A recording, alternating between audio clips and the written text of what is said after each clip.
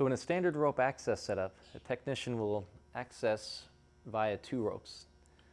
Uh, both of them will be on known rated anchors, so they'll know exactly how strong these connection points are. And primarily they're going to be having one line for ascent and descent, and the second line will be used as a backup system in case the primary line were to fail. So in this case,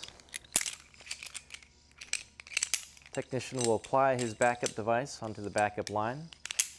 This is designed to keep any potential fall to within two feet. And if the technician is going to ascend, he would then utilize a chest ascender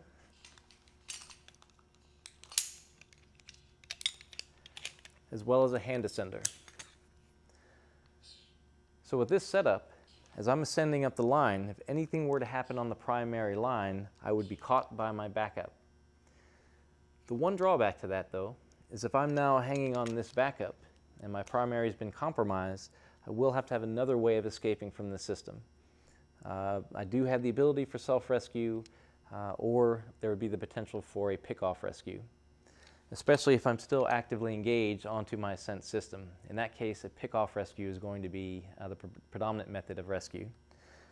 So this is very functional for going up, and it can also work for going down. When descending, the technician will use a two-person load-rated device a mechanical device. So this will allow for smooth movement on the way down. It has known ratings for one person as, as well as two person, and it'll work by engaging the handle and working the trailing end of the rope, the brake end, uh, with your other hand. As I'm doing this,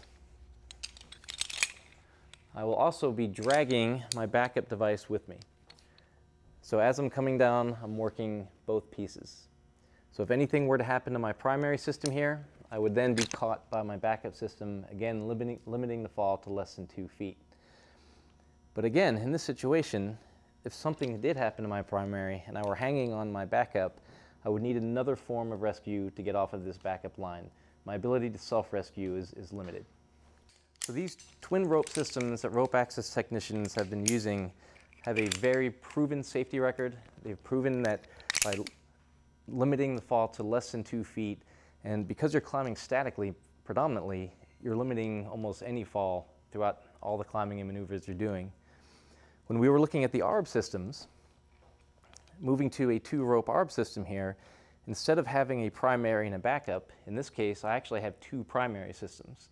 And that does give me some advantages because as I'm ascending and descending,